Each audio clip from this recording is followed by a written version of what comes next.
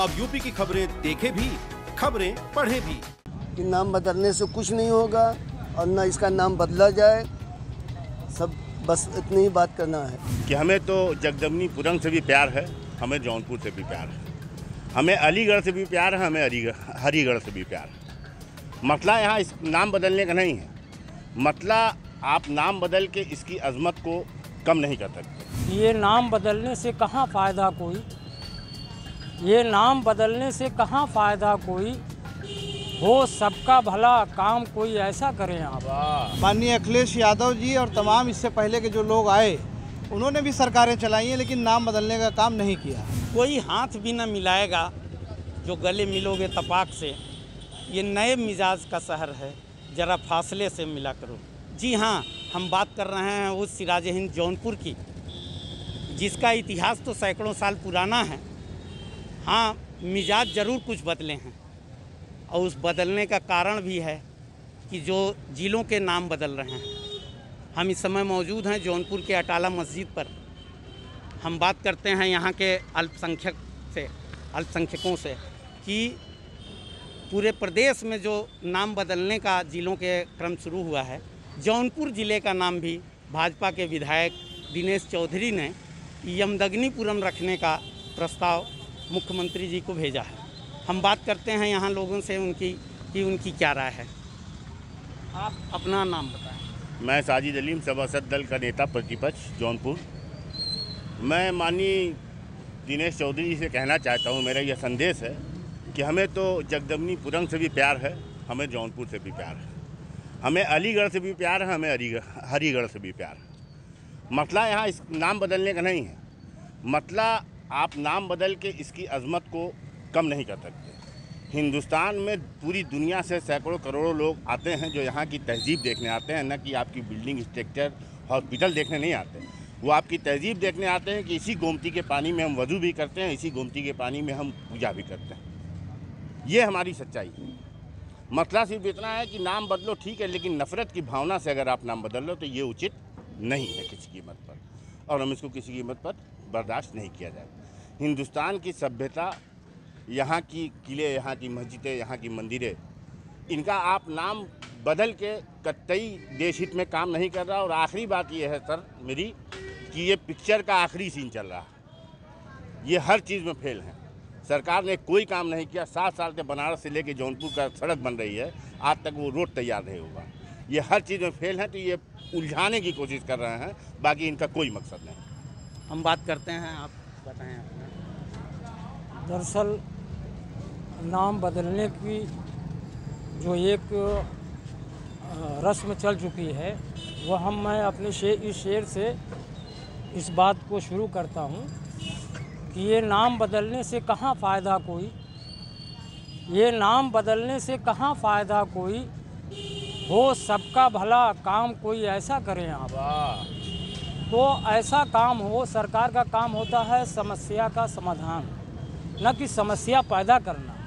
आप नाम बदल के समस्या पैदा कर रहे हैं, समस्या ख़त्म नहीं कर रहे और इस नाम बदलने से किसी का घर जिस मोहल्ले में पड़ता था, दूसरे मोहल्ले में नहीं पड़ेगा। हम बहुत खुश होते इस नाम बदलने से। अगर किसी गरीब को रोटी मिल जाती इस नाम बदलने से, किसी की अधूरी पढ़ाई पूरी हो जाती इस नाम बदलने से, या किसी तरह का समाज का कोई भला हो जाता तो हम बहुत खुश थे इस नाम बदलने से। और सिर्फ़ नाम की सियासत काम से दूर रहकर इसको पसंद नहीं किया जा सकता। ये थे शायर अकरम जौनपुरी साहब जिन्होंने अपने शेर व शायरी के माध्यम से बताया। अब हम बात करते हैं चलते हैं अगले कड़ी में। आप बताएँ अपना नाम। मेरा नाम कमालुद्दीन अंसारी मैं नगर अध्यक्ष समाजवादी पार्टी से का हूँ। देखिए हम माननीय मुख्यमंत्री जी से भी ये अनुरोध करते हैं और दिनेश चौधरी को भी, जो हमारे कराकत के विधायक हैं, उनको भी सोचना चाहिए कि उन्होंने अपनी विधानसभा में क्या कार्य किया।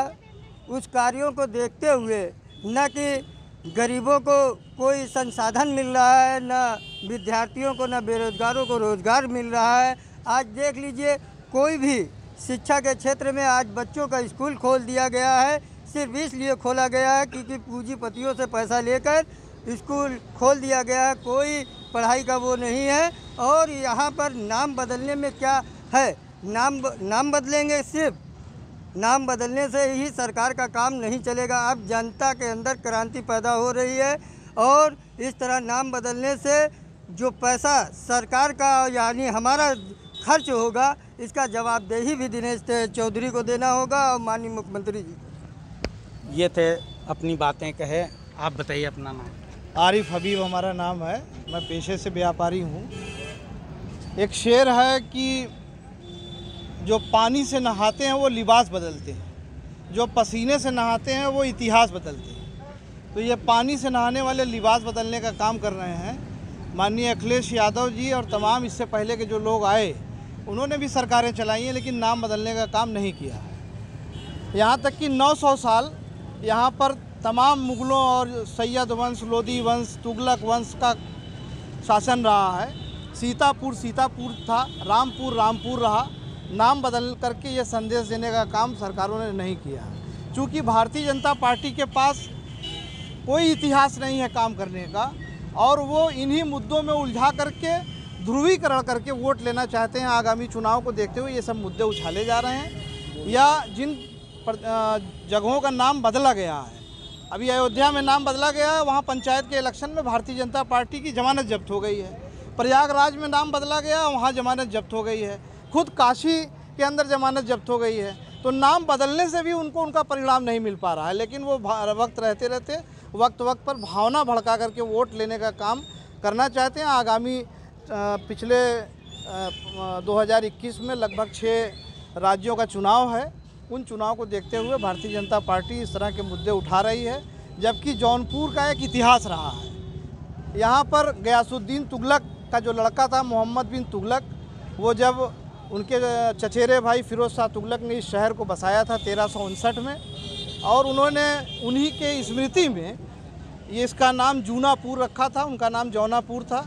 उन्हीं के नाम पर बिगड़ते बिगड़ते जौनपुर हो गया। नाम बदलने से कोई दिक्कत नहीं है, यमदग्नि ऋषि की जो तपोस्थली जौनपुर रही है, हम उनका भी सम्मान करते हैं, वो भी ऋषि मुनि रहे हैं, भगवान को याद करने वाले रहे हैं अच्छा काम किए हैं। उसी तरह से जो और भी लोग हैं समाज के, वो लोग भी अच्छा काम करते हैं। तो नाम बदलने से हमारे समझ से कोई जनता का कल्याण नहीं होगा, जैसा कि अभी हमसे पहले भी अकरम साहब ने कहा कि अगर नाम बदलने से किसी का मकान बन जाए, किसी की रोज़ी रोटी लग जाए तो ऐसा काम मुख्यमंत्री जी को करना चाहिए, चूँकि केराकत विधानसभा से उनकी जमानत जब्त होने वाली है तो वो भी इस तरह का मुद्दा उठा करके भावनात्मक मुद्दे को ला करके ध्रुवीकरण का काम करने जा रहे हैं लेकिन अब कोई ध्रुवीकरण चलेगा नहीं। अब हम बात करते हैं अगले आप बताएँ। बोलिए बोलिए कुछ भी बोलिए। हम इससे सहमत हैं जो कि अपना कहा है कि नाम बदलने से कुछ नहीं होगा और ना इसका नाम बदला जाए। सब बस इतनी ही बात करना है बस। ये थी जौनपुर की आवाम, जिन्हें इस पर कोई एतराज़ नहीं है कि नाम बदला जाए, लेकिन साथ ही इन्हें ये भी है कि नाम बदलने से क्या गरीबों के पेट की भूख मिट सकती है? नाम बदलने से क्या बेरोज़गारी दूर हो सकती है? ये थे इनकी अपनी पीड़ा। जौनपुर से राजकुमार सिंह, यूपी तक।